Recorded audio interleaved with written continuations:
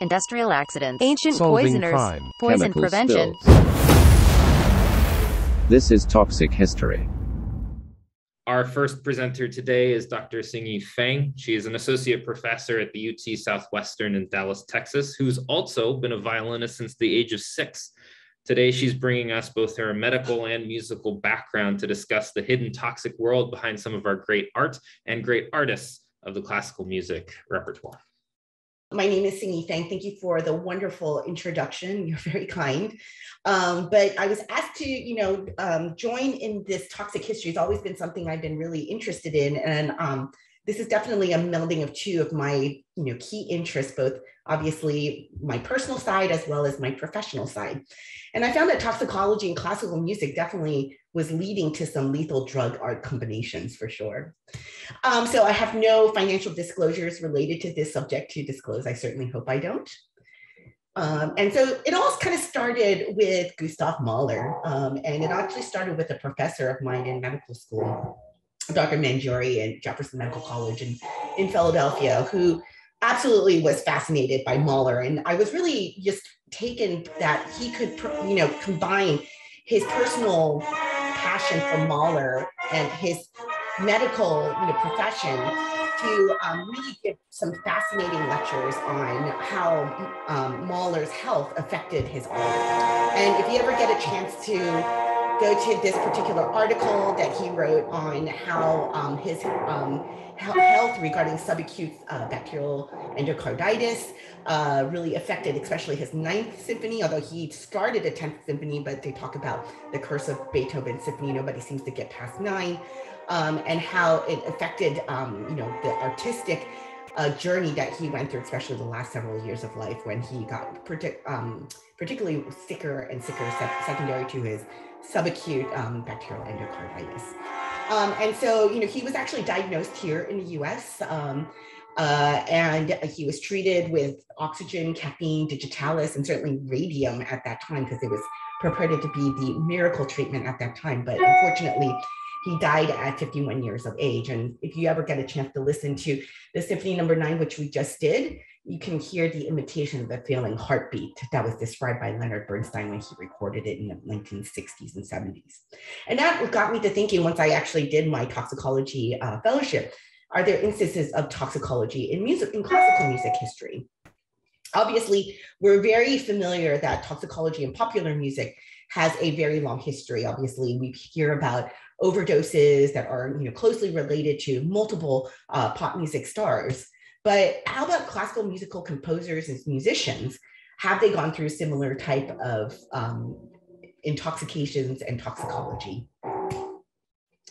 So there's actually an amazing amount of publications on this subject. So books have been written on it, uh, literature has been on it. And so we'll kind of go through some of them today.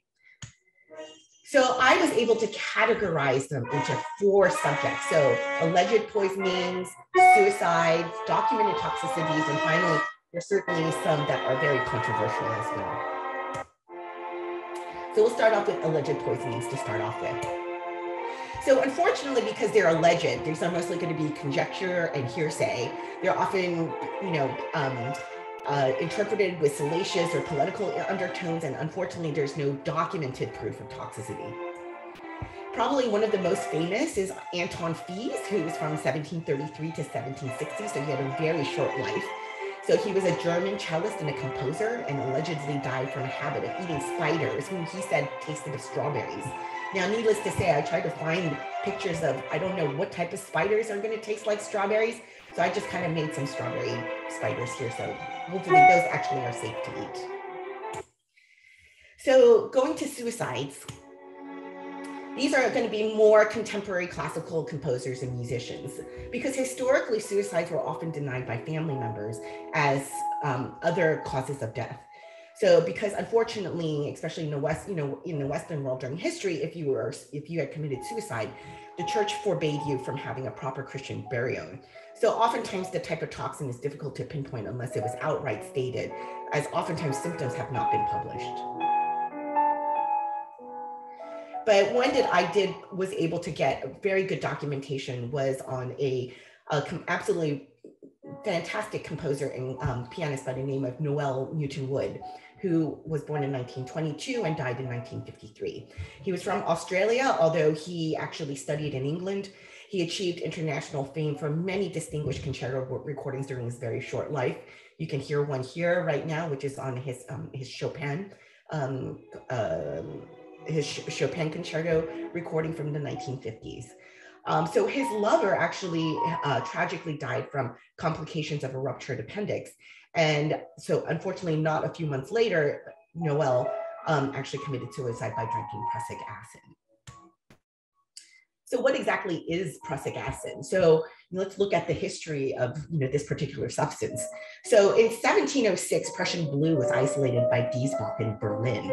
And they, he had combined potash, which was potassium salts, and blood and created iron ferrocyanide. And he named them Prussisch Blau or Berlinisches Blau, um, basically meaning Prussian blue and was using this oftentimes in art. So you will see Prussian blue. Um, blue used to be a very expensive uh, pigment used in art. So it used to be lapis lazuli, which is a precious stone, cost an arm and a leg. Um, and then the artist would then pound it um, into a very fine powder. Then they would um, suspend in multiple, multiple types of media, be it oil or egg tempera.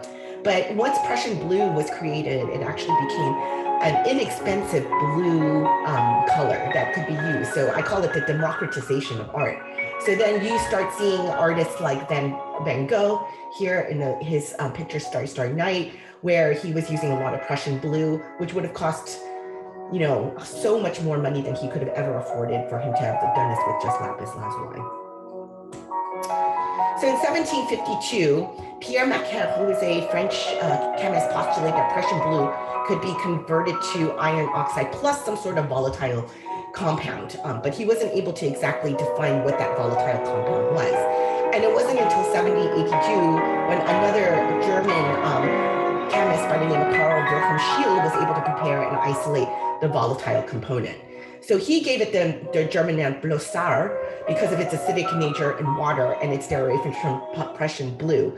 So hence the English translation is prussic acid. So in 1815, Joseph Louis Gay-Lussac deduced that prussic acid's um, chemical formula was actually hydrogen cyanide. So cyan comes from the Greek word blue, and then hydro hydrocyanic acid is how that name came about. I'm talking to a bunch of toxicologists, so needless to say, I don't necessarily have to go into the mechanism of how cyanide works, but you know, we all know that it's a very potent toxin. It can cause life-threatening symptoms in very small doses. Um, exposure to cyanide can cause in a variety of settings, um, such as with smoke inhalation, uh, laboratory and industrial accidents, suicide or homicidal attempts, just like Noel Mewton-Woods. Um, and it can come in many different forms. So lots of different symptoms with CNS effects as well as um, cardiovascular effects. And again, the toxicity is mainly due to its inhibition of cytochrome B, cytochrome oxidase in electron transport chain. So we're all very familiar with that. So I'm not going to go too much into that. Um, so here's the obituary that was published in the London Evening News detailing the situation of his death but it didn't really answer a big question for me. So, you know, they not only, you know, published his obituary, but then they had a memorial concert for him about a year later. But again, nobody really talked about, you know, like where did he get it from? How did he exactly die? Um, and so um, I actually um, emailed the Royal Academy of Music's library in London and they were actually able to provide me with the coroner's inquest um, here that was actually published in a newspaper. So um, they didn't say exactly where Noel Mewton-Wood got his prussic acid, although it was actually very readily available because at that time people used it to fumigate their home um, for, for insects and other kind of pests. So hydrogen cyanide as a pesticide, it was first used in California during the 1880s, but unfortunately we're all familiar with it being as a part of Zyklon B. So the B is for the Blausäure, which is the German for prussic acid, which was developed in the 1920s and had been used by the Nazis beginning as early as 1942 during the Holocaust, which they used to kill for an estimated 1.1 million people. So moving on to documented toxicities, these are probably probably the most fun for us just because we actually have some documentation. So these are known users and abusers of intoxicants, confirmed use of various types of medications, as well as natural toxins that were, documented as being used. So we go into the case of an unfortunate gastronomic adventure. So we're going to Johann Schobert, who was um, born about 1720 to 1767. He is a German composer and a harpsichordist. He was a court musician for the Count of Conti outside of Paris.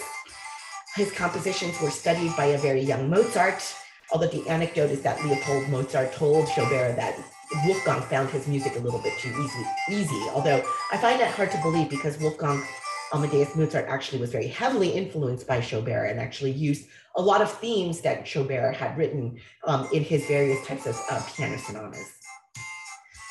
So according to re the report filed by Jean Maubert, which apparently like it, it, was very easy to find all of this. Granted, it's in French, so I had to read French again, um, but it's all available online. So there was actual a police report that you can discover online that in 1767, the uh, Inspector Maubert reported that Monsieur Schobert arranged an outing outside of Paris with his family and friends. So they went mushroom picking. So they returned that evening with the mushrooms. They asked the chef at a local restaurant to cook them. The chef said, These are poisonous. I am refusing. They went to another restaurant, and the maitre d' at that restaurant also refused to cook the mushrooms. However, there was a physician in the party that reassured him that the mushrooms were absolutely edible. So they happily went back to the Schobert residence, where then um, his servants then cooked the mushrooms into a soup, and they had a lovely dinner. However, at about noon the next day, a passing neighbor heard strange noises found from the home. And so then they called the police and they found that the household that was in convulsions of pain and struggling against death. So one child had already died. Monsieur Schobert died four days later. Madame Schobert died about a week after that. And then the physician friend also perished. So only one child survived. And it was because that child was already ill and had not eaten any of the mushroom soup. So what did the Schobert family eat? So I definitely think it was one of the Amanita species, most likely Amanita phalloides, although there's a couple more species that had similar toxins that were uh, that are available, that are easily grown in, that are growing in France. So Amanita phalloides is widely distributed through Europe.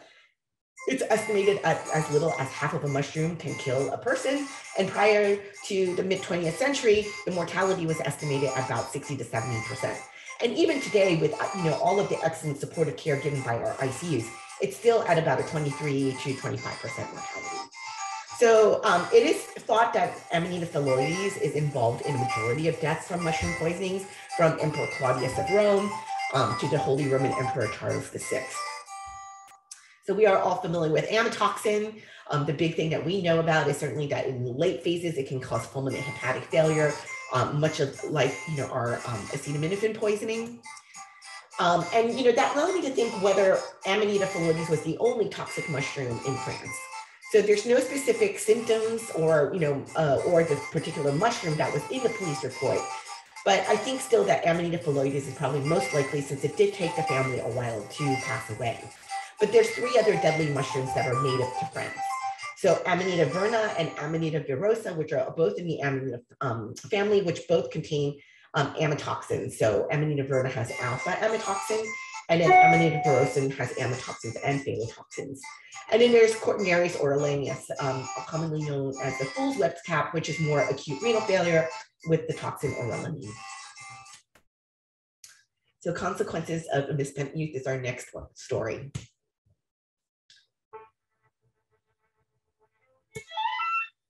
So this is the story of Niccolo Paganini, who uh, lived from 1782 to 1840.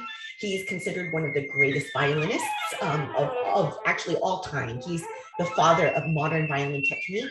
He's really well known for his violin concerto as well as his 24 caprices for solo violin, which are ridiculously difficult to master. Um, he was a traveling virtuoso during his early career, and his incredible skills with the violin um, earned him the nickname the Devil's Violinist. He was also very famous for having a very long, lanky physique and hypermobility and extensibility of his joints. So he was capable of playing three octaves across four strings. So if anybody who is a violinist who's listening should know that the, that is nigh impossible. Um, it's been um, theorized that he may have had Marfan or Ehlers-Danlos, um, and for a while, this particular photo uh, was was being um, used as proof that he had this weird physique, although it ended up become being known that it was actually a fake uh, daguerreotype. He had concert groupies. Um, he was definitely a rock star of his age. He was known to have the relationship with the occasional prostitute. He had women falling all over him, including Baroness Helena von Dobeneck. So she deserted her husband and stalked him across Europe. And unfortunately, her family finally confined her to an asylum until she died. He did have a long-standing relationship with Antonia Bianchi. Um, they gave concerts together and they had one illegitimate son whose name was Achille. So his health definitely took a downturn. So in 1820, he was initially diagnosed with tuberculosis because he had cough sputum, weight loss, hoarse voice. Um, and so they thought, okay, you have TB. But in 1822, they actually diagnosed him with laryngeal syphilis. Now, they couldn't confirm this, obviously, because there was no direct laryngoscopy available at the time. The original cough could have been secondary from calomel abuse, which was used as a purgative and a laxative during the 19th century. By 1823, because of his diagnosis of syphilis, large doses of mercury and opium was being prescribed for his health. Now, this obviously had a disastrous effect on his health. He started getting oral abscesses and osteomyelitis of his jaw, but he also continued to take calomel to combat opium-induced constipation by 1834, he was at the end of his performance career. So he had to cancel multiple uh, performances. He had deterioration of his eyesight. He was constantly drooling. He had um, tremors of his hands. His personality changed. He went from somebody who was very gregarious to somebody who was shy and very easily uh, startled by noises. he developed um, strictures of both of his esophagus as well as his rectum. He had urethral stenosis as well. He had ulceration of his palate that, that developed several years later, and unfortunately died at a very young age of 58 by 1840.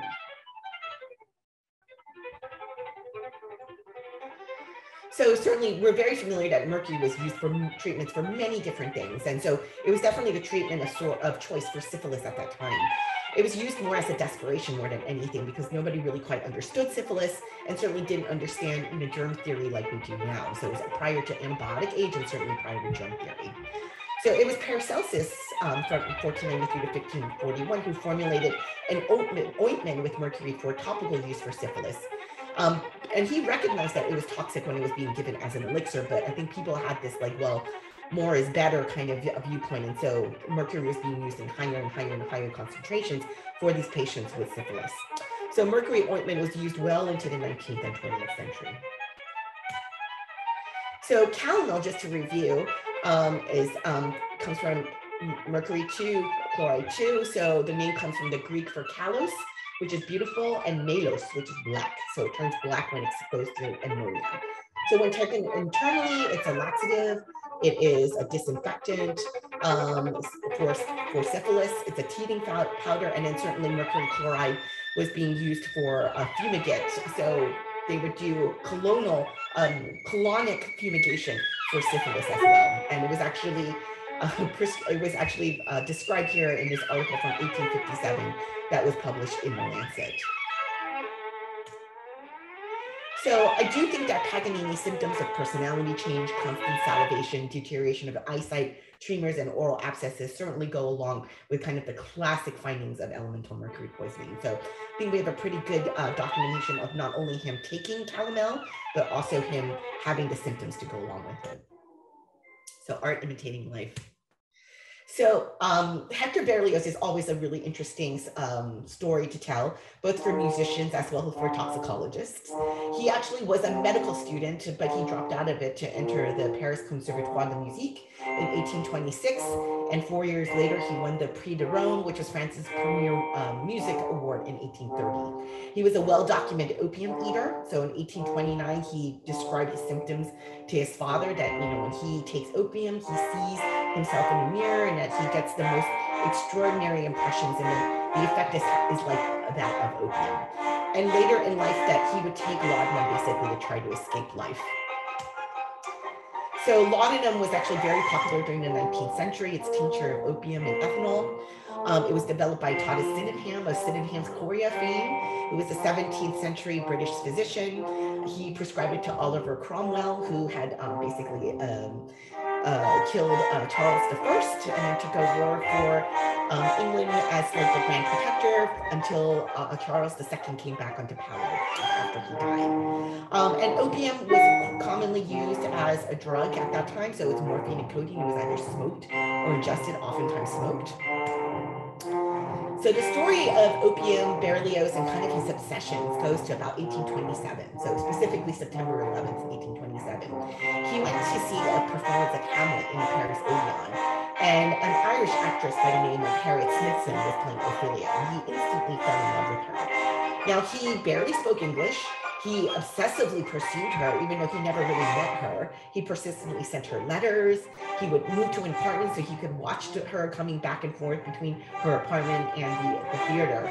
But like she should, she refused to meet him and he returned to London. So definitely he stalking tendencies. So while she was gone from Paris, he composed an orchestral symphony for her, which is known as the Symphonie Fantastique and premiered in 1830 to celebrate her return to Paris.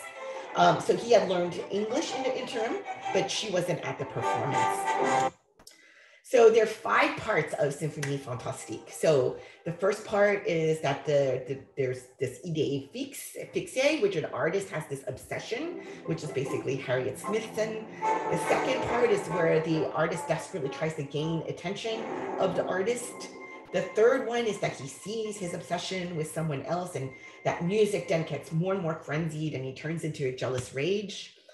By the fourth and fifth part, however, the fourth one is because he has these visions where he's murdering his obsession. And the fifth one is that his soul then gets taken to hell. So definitely very weird stuff. And it's hard for me to, like, granted, he did have stalking tendencies, but it's hard for me to say that, you know, did he did he just simply because of his stalking? I do think he, used opium, which only enhanced all of his kind of weird behaviors. So symptoms that were described by the story in Symphonie Fantastique, confusions, drowsiness, hallucinations, impaired judgment, and stupor. And certainly hallucinations have been reported with opioids, um, usually auditory, visual, and very rarely tactile. Morphine has the most reported as the causative agent for opioid-induced hallucinations. Um, and there's been multiple um, reports of morphine hallucinations reported So we're moving into controversies. So certainly Beethoven is one of the top controversies. People still talk about this today. What caused his deafness? That is one of the main stories that I think mysteries in music that we will potentially never know, but there's lots of theories. So to give you a little bit of history regarding his deafness, by age 27, he was having tinnitus. By age 30, he confessed, um, he confessed to a, a, physician friend of his that over the last three years, he was having weaker and weaker hearing and that he could not make out the sounds of the music or the words that people were trying to say to him. By 1814, he was unable to carry conversations orally. Um, he tried to use an ear trumpet, but with very limited success. By 1815, he stopped playing the piano completely. By 1818, he was using conversation books. Um, there's many of them that are still preserved. Um, you can see an example here. So where he people would then write their questions to him and he would answer to them back in orally. By 1822, he stopped conducting. However, in 1824, he actually had what they termed as a last performance. So he was the honorary conductor for the premiere performance of his ninth and last symphony. However, during the performance, he was several bars off. And so at the end, he actually had to be turned around to see the audience by the contralto Caroline Unger. And it, I would have loved to have seen this performance because, you know, it would have been so tragic to see this absolute genius and he couldn't hear the notes that were being performed on that stage or the or the applause that was being given to him. So he had multiple other health issues as well. Um, by early adulthood, he was complaining of frequent um, abdominal pain. When he was in his 30s, he would have feverish catarrh, which is another word for bronchitis. He was complaining of rheumatism of his hands and his black back. He had tormenting headaches. And then he would have these inflammation of his eyes to the point where he couldn't see. During the final year of his life, he was uh, experiencing massive ascites and would have bloody emesis. So what exactly caused his deafness and his death? So there's many disputed illnesses causing his um, death, be from alcoholic cirrhosis to Whipple disease to potentially lead poisoning, which is where our interest is. So the pictures here are, this one is a life mask, the one that's on the bottom. The top is a death mask. So death mask was actually something that was quite commonly done uh, during this time period that after a person died that they would mold a clay mask on top to kind of preserve the person's image.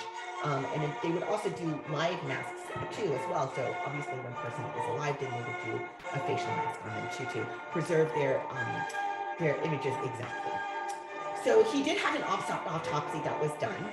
Um, it was performed by Johannes Wagner from um, the University of Vienna.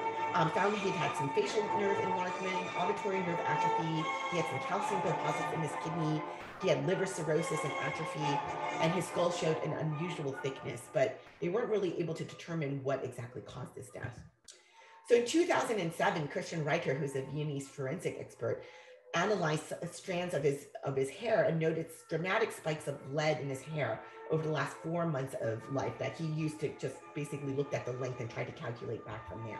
So we all know the kind of the issues with looking at hair analysis, not necessarily the most um, reliable, you know, way to pinpoint that Beethoven actually had lead. Um, but it was theorized that his Beethoven's physician was actually giving him lead-based medication for his colicky chronic abdominal pain. And so, and also there was well documented when um, Beethoven received paracentesis for all of his ascites, and they found spikes of lead correlated um, with known paracentesis that were performed by his physician. So you can see the distribution of lead in his hair as well as all of the different paracentesis. Um, and so, you know, the, then came this book called Beethoven's Hair. There's actually multiple sources of Beethoven's hair. This is another Victorian era um, habit that whenever somebody died, they would actually take a lock of their hair to kind of preserve them. And so there's multiple locks of Beethoven hair because pretty much within the first day of his death, basically he was clean because people were taking basically um, mementos of, of Beethoven because they wanted a piece of his great genius. So in 2010, um, Andrew C. Todd actually published that he had tested samples of Beethoven's skull that was that is still in um, at University of Vienna and did not find elevated levels of lead in the bone. Um, but he did not describe a previous, they didn't describe a previous sample that was analyzed by another German group previously um, that had three to four times the expected lead levels. So um, he used X-ray fluorescence in both samples. And again, we know that lead measurement in hair is not considered reliable for exposure. In 2013, Michael Stevens et al., who reviews musical and medical literature, noted that Beethoven had a habit of inviting lead-sweetened wine. Um, he reviewed the pros and cons of arguments of dead lead um, causing his deafness. So we knew we know that he was known to enjoy lead sweetened wine. He started drinking very heavily after the age of 17, after his mother passed away. Um, he was drinking this wine for about 10 years prior to tinnitus being developed, but then he would drink more wine that was sweetened with lead to stimulate appetite and to try, treat his abdominal pain. He was known to drink up to a bottle of wine with each meal. Um, there's actually some very, very famous letters that Beethoven wrote where he was contemplating suicide, um, especially because he was losing his he hearing. So we do know that lead can cause some behavioral changes. His autopsy shows proven hepatotoxicity, kidney damage, and he has a known history of abdominal colic. And then he has lead levels in hair and in one sample in the skull. But again, only one of those samples showed lead levels in the bone. Um, he had a lack of motor disorder. Obviously, he was playing piano. Um, he was conducting. He was obviously writing very significant pieces of music, even when he was deaf.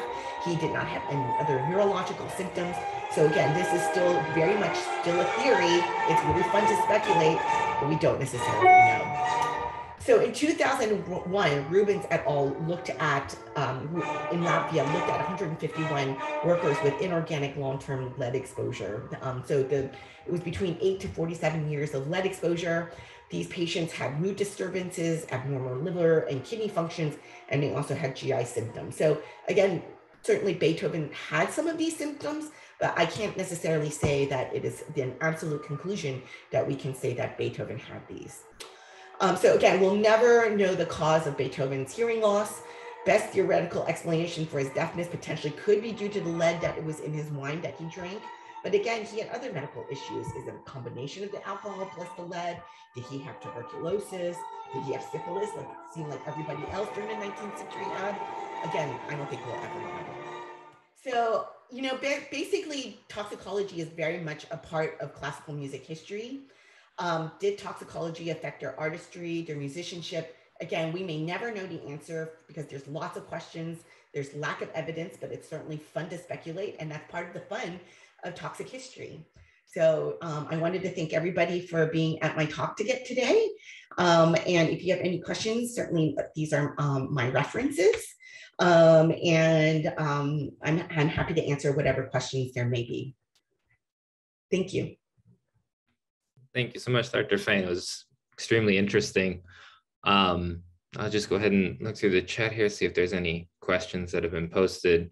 Certainly, uh, uh, certainly, I've I've had the chance to play a couple of those pieces and and kind of the classical music discussion. That it always seems to come up is how much how much do, do you think that the composer's physical health and mental state really changes the the musical output that they had, or do you think we would have had some of these masterpieces even even in the absence of, say, you know, uh, Paganini's uh, uh, affliction, as it were?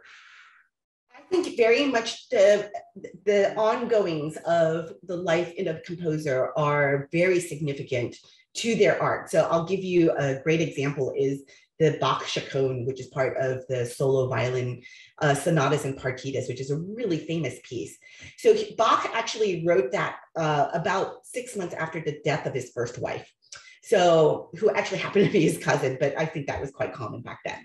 So um, and and Bach was a very uh, mm, how should I put it productive person, uh, not just musically speaking. Obviously, he had a lot of compositions, but he actually fathered twenty children.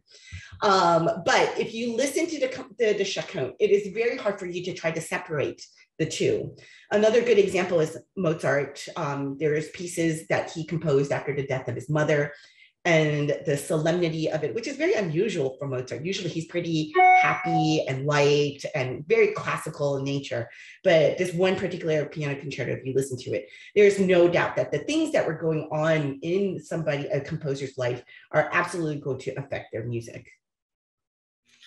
Yeah. Um, and then we do have a question in the chat. Uh, we can see if we have enough time to, to get to it. But do you know the reasoning behind using a lead-based treatment uh, for abdominal pain. Certainly, it would seem to cause the abdominal pain. You know, certainly this is the time that where homeopathy became very popular was in the 1800s. So, um, for those of you that know Hahnemann um, Medical College, which is now Drexel, um, was one of the first homeopathy medical colleges here in the United States. So the thought is that you will take a medication that is potentially causes the same issue. So if you have an abdominal pain, then you take lead because it causes abdominal pain. Now, granted, homeopathic, um, homeopathic medications now, it's more about the dilution. So that it's at such a small dilution that potentially it's going to cause the opposite of what's happening. But, you know, there's not, there was not a good understanding of medicine at that time. So, you know, like, you know, they would do things like if something looked like a brain, they would eat it thinking that it would be good for their brain. If they ate something that caused abdominal colic, they felt potentially it would it would neutralize it. So unfortunately, I think you know a lot of the medical theory at that time certainly um, Pasteur wasn't around yet. We didn't understand germ theory. Um, the, a lot of the medications that were around were oftentimes um, folk remedies or herbal re- um, remedies. People oftentimes went to herbalists, or um, and there were a few medications that were known, but most of the time people did not know that the you know like they knew calomel would potentially help, and it might have initially, but they didn't know that it was mercuric chloride, right? So they didn't know all of the the problems that were associated with it, unfortunately.